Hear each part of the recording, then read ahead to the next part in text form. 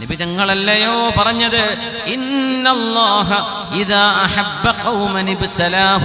അള്ളാഹു ആർക്കെങ്കിലും ആരോടെങ്കിലും അള്ളാഹുവിന് ഇഷ്ടമുണ്ടെങ്കിൽ ഇഷ്ടമുണ്ടെങ്കിൽ അവരെ അള്ളാഹു പരീക്ഷിക്കുമത്രേ പരീക്ഷിക്കും